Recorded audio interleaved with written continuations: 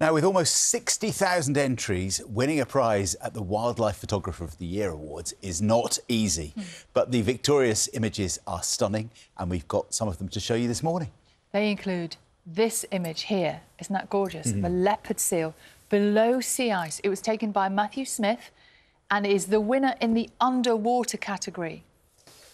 Got another one as well. This one taken by Robin Darius Conz of a tiger there, looking very relaxed on a hillside overlooking a town.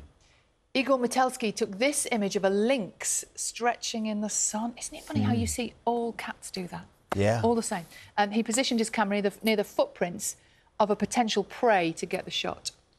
The winner of the Young Photographer competition was this one from 17 year old Alexis Tinker-Tsavalas from Germany a close up of a fruiting slime mould and a tiny springtail. Which one's which, John? I have no idea. Let's ask uh. Alex. He used a technique called focus stacking and combined 36 images into that one just to get it. Isn't that great? Are you ready for the top prize winning photo? On. Here it is.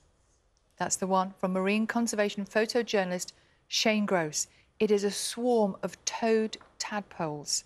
He had to snorkel for hours through lily pads in Cedar Lake on Vancouver Island in Canada, and that has won him the title Wildlife Photographer of the Year. After all that effort, it's probably a good thing he won, isn't it? Yes.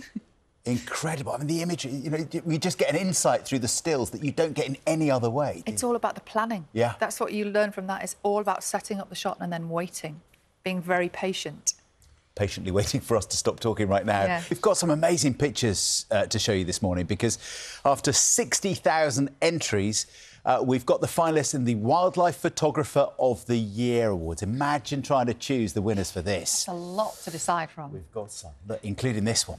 This is an image of a leopard seal taken from below sea ice by Matthew Smith and it was the winner in the underwater category. So pretty. How'd you get below the sea ice to take that? Uh, here's another one. This one was taken by Robin Darius Conz, a tiger on a hillside overlooking a town.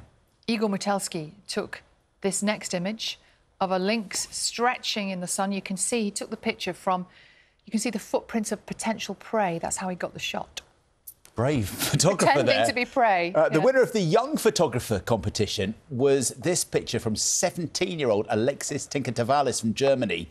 It's a close-up. That is fruiting slime mould, I think on the right, and a tiny springtail on the left. And apparently he used a special technique called focus stacking, where he combined 36 different images and created this one looks a bit like a bug to me. it's just a bug. Yeah.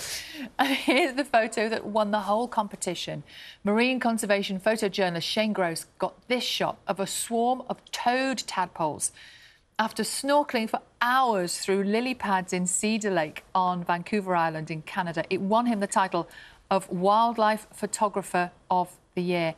Now, that is quite a thing to snorkel through all of that for hours. I think you're right. What you were saying earlier, that it's the preparation, it's the yes. planning, just to get a picture that yes. nobody's ever got before.